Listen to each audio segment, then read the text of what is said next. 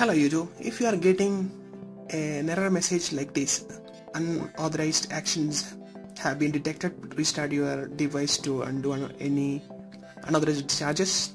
This problem happens because of the Knox security feature. As a Knox security, it's an extra security feature. It shows some error with the rooted apps and uh, rooting method itself. So that's why it's an error coming. In this video, I'm going to show you how to deal with that one. First of all, you're going to download Super SU. If you didn't already uh, install Super SU, there is a link in the description which will show you that. Go just go and download and uh, here you can see I already downloaded Super SU zip file.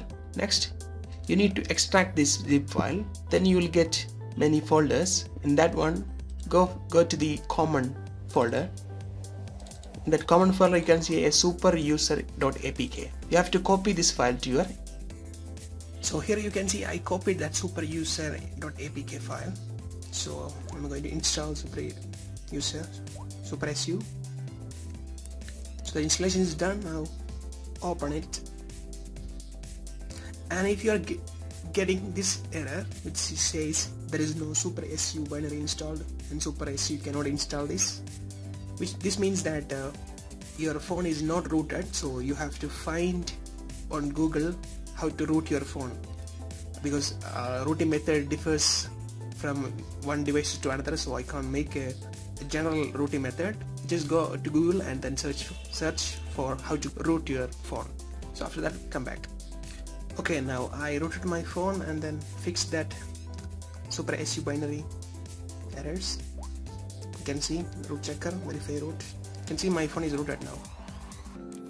So go back to super SU again. That will show like the super uh, SU the SU binary needs to be updated. So click on continue. You can choose any. I'll choose with normal. So the super SU binary will be updated. Once it is done reboot the system